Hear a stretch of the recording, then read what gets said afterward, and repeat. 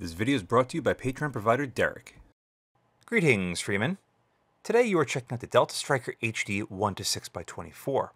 This is a Japanese-made optic that features the DSMR reticle in mils, is illuminated, and second focal plane.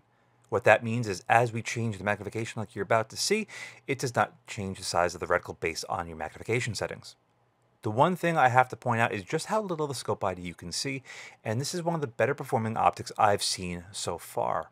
That includes other optics such as the VX6 HD by Leupold and the Razor HD Gen 2 by Vortex. There at maximum magnification, you can see nothing really changes. Maybe a little bit of the orifice looking through it, but that's about it. Illumination on this thing is fantastic. There are 11 brightness settings and every single one of them is usable. Granted, we are on a white background with a lot of bright light around it, so you can't really make out the lower settings, but when we shut the light off, like you're about to see right here, you are going to find out that there you are, maximum illumination. This thing is ridiculously bright, and you're going to see that throughout the rest of this video. But all 11 brightness settings are visible to the naked eye, so if you're thinking that this will get dark enough to possibly use with night vision, you're probably wrong. It's probably going to be a little bit too bright for that. Just something to keep in mind. And now let's check out these turrets.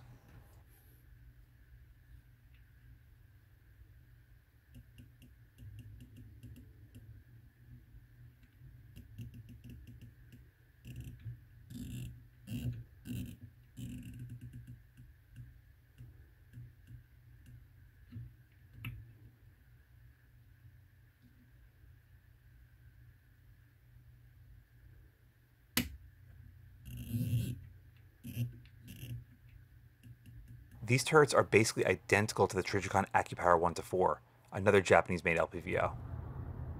As far as how the image quality down here is, I got it as good as I could. Granted, this is a fixed parallax of about 100 yards, so it is what it is. But as you can see, the reticle seems to line up really closely to our target, so let's give this a whirl and see what we come up with. 1, 2, 3, 4, 5, 6, 7, 8, 9, 10. 1, 2, 3, 4, 5, 6, 7, 8, 9, 10. 1, 2, 3, 4, 5, 6, 7, 8, 9, 10. 1, 2, 3, 4, 5, 6, 7, 8, 9, 10. 1, 2, 3, 4, 5, 6, 7, 8, 9, 10. 1, 2, 3, 4, 5, 6, 7, 8, 9, 10. 1, 2, 3, 4, 5, 6, 7, 8, 9, 10. 1, 2, 3, 4, 5, 6, 7, 8, 9, 10. So across four mils left and up, you can see it lines up pretty damn good. Now keep in mind, this being a capped LPVO, you're never going to need to adjust these to correct for a shot because you have a mil reticle. So there you have it. Anyway, let's continue up with this. One, two, three, four, five, and 6 for a total of 10 mils of elevation gain. Looks pretty damn good to me. Uh, the reason why it looked like we were off on the windage is because I did not set the windage properly. Let's reset this to zero and see how it looks.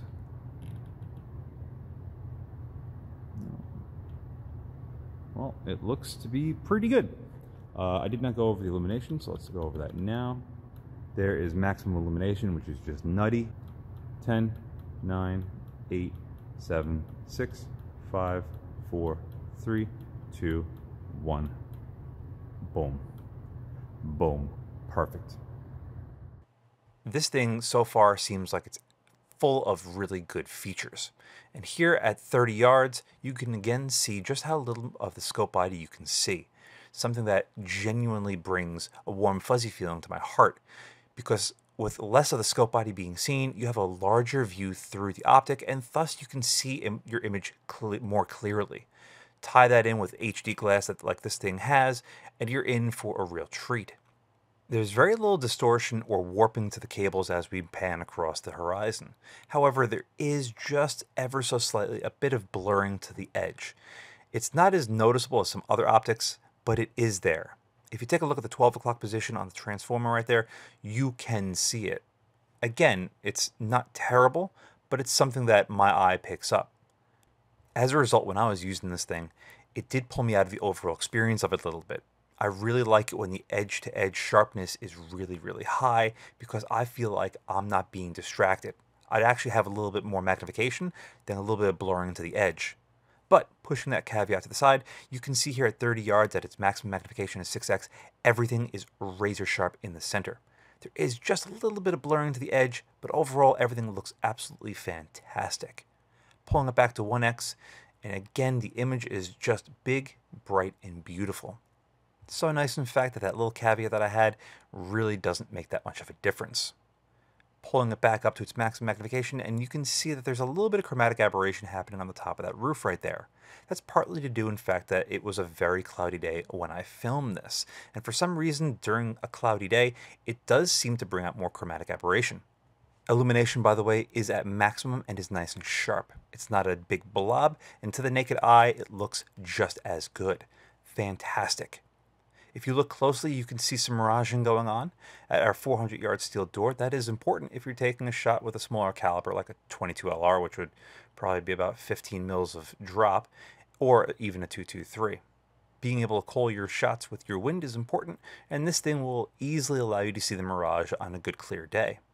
Moving over to the right, you can make out a lot of those smaller branches in that what I consider brown muddled mess, even though right now it's a green, beautiful sea of oceany green. Yeah, that makes no sense, but I'm just going to go with it.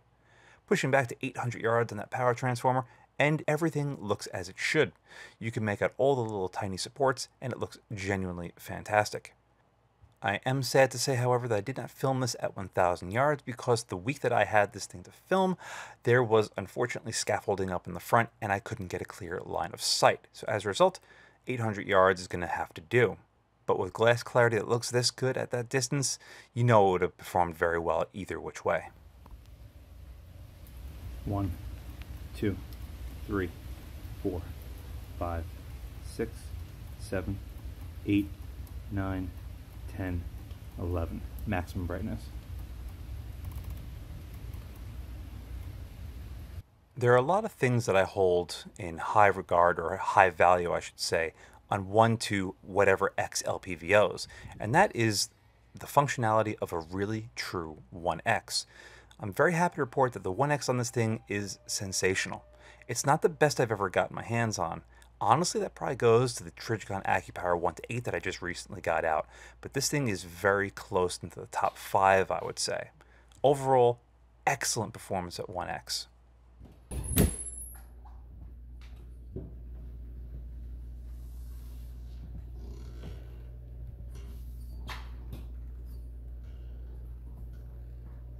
Pew pew, pew pew.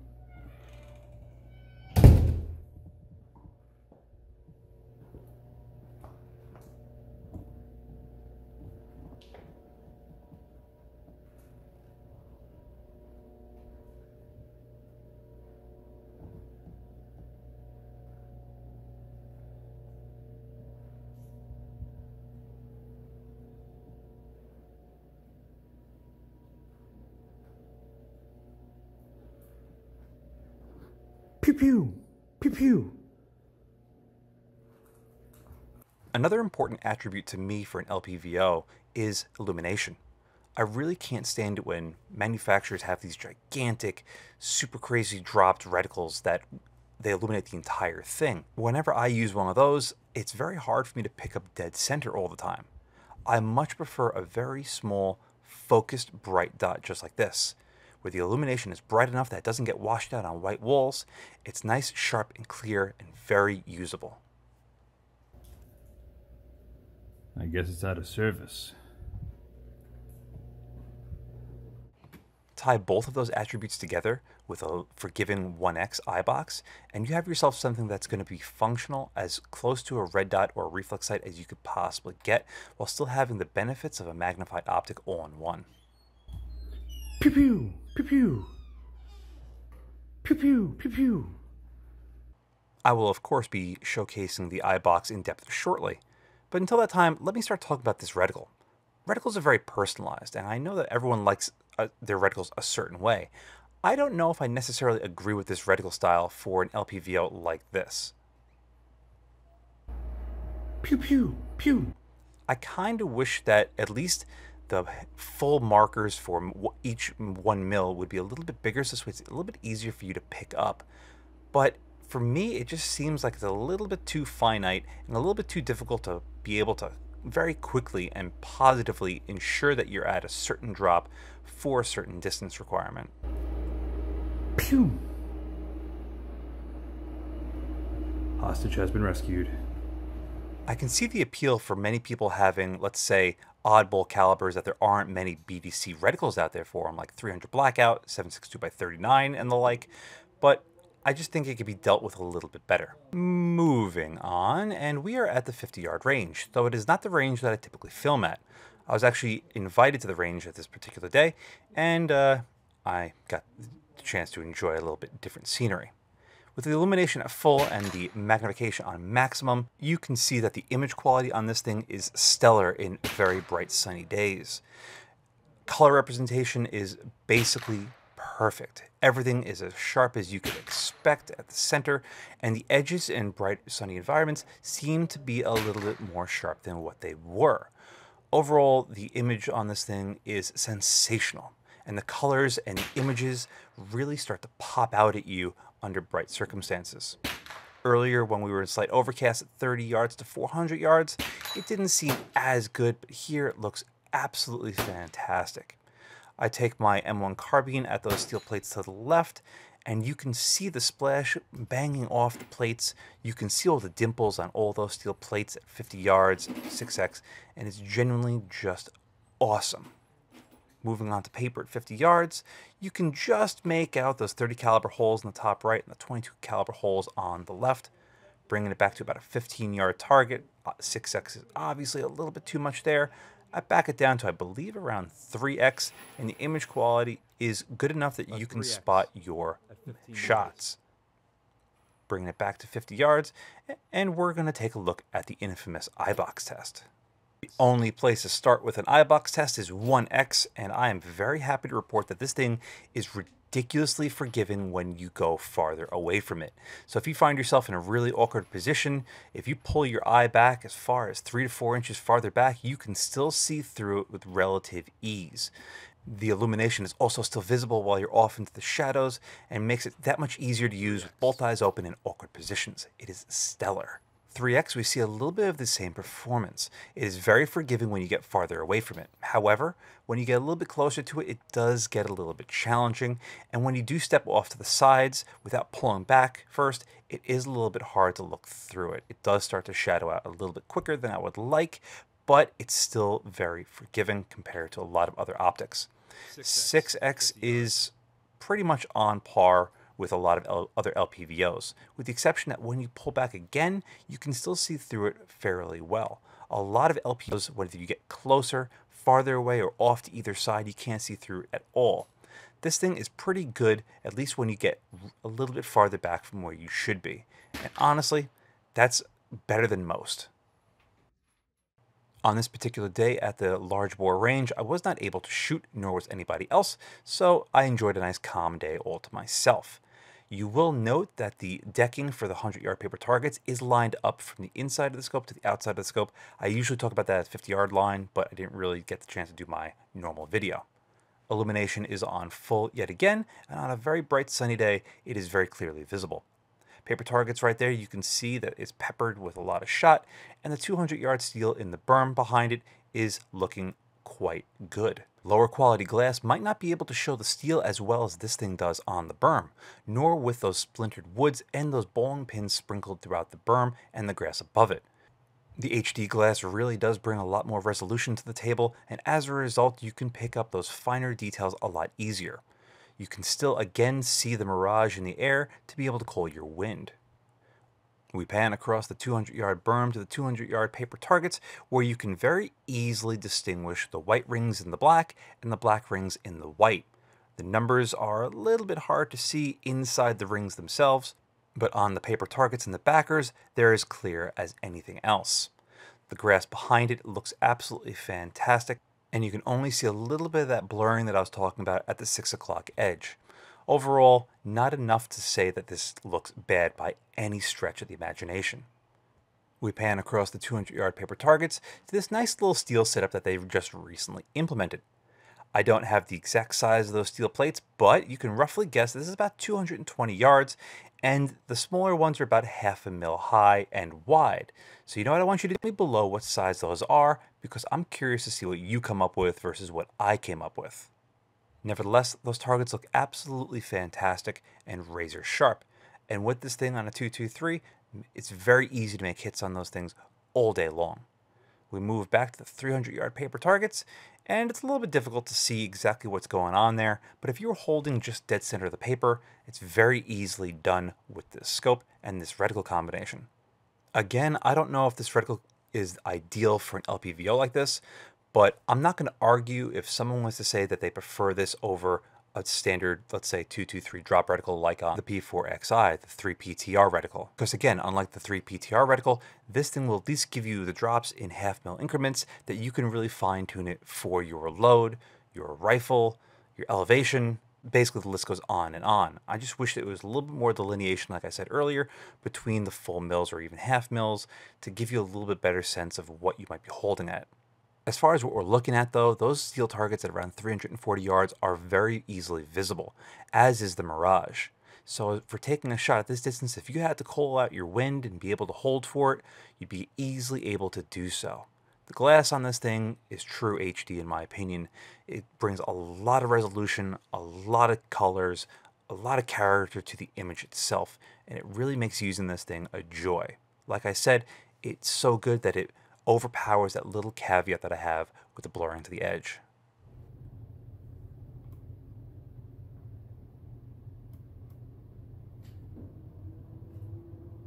If you listen closely to the beginning of the scene, you can hear the clicks on the illumination ring.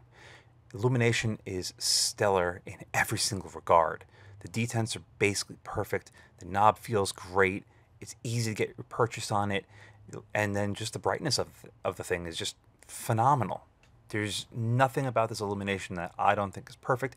But for you, if you're running night vision, again, it's probably going to be too bright even at its lowest setting.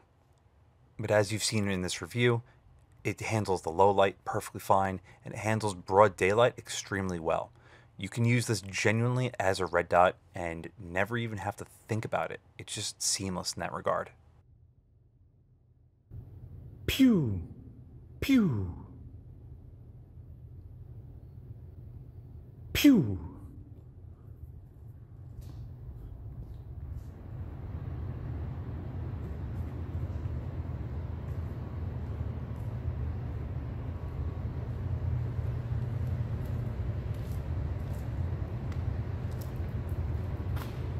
Pew pew! Pew pew!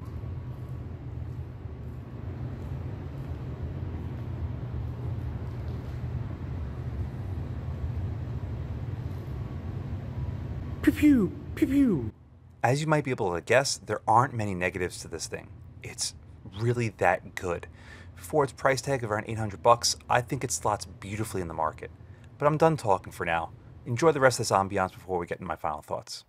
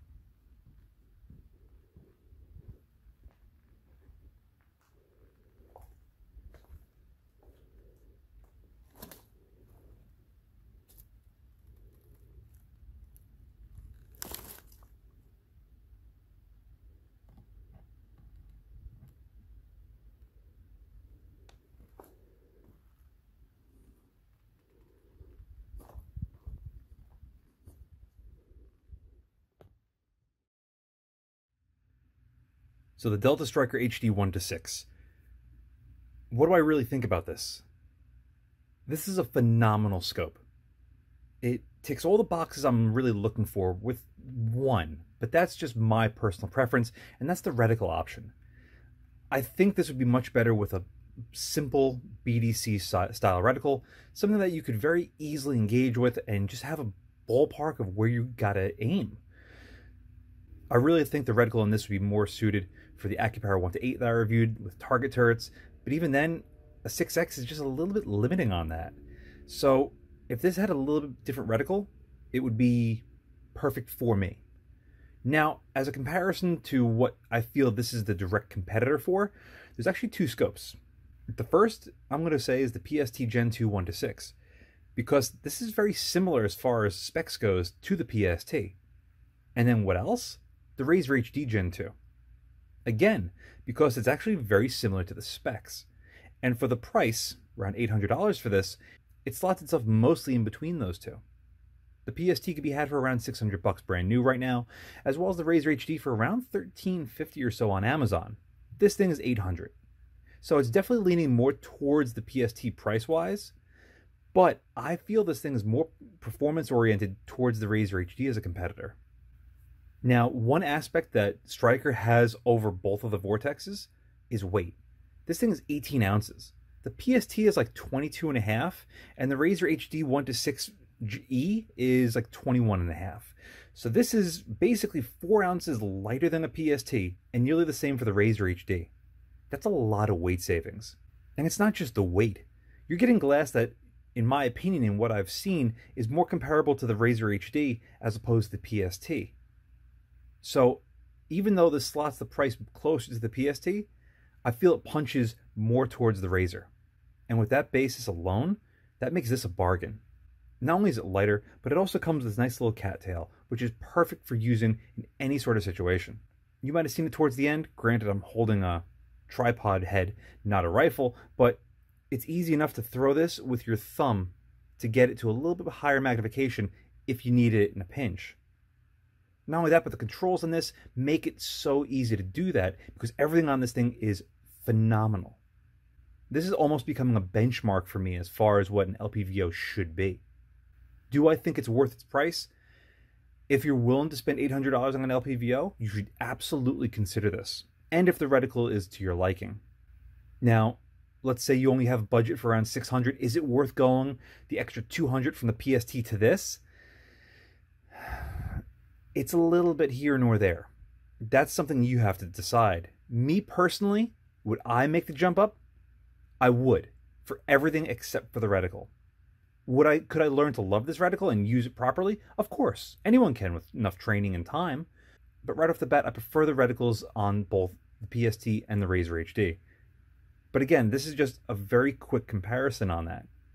Long story short, this thing is absolutely fantastic and worth the money no matter how you look at it.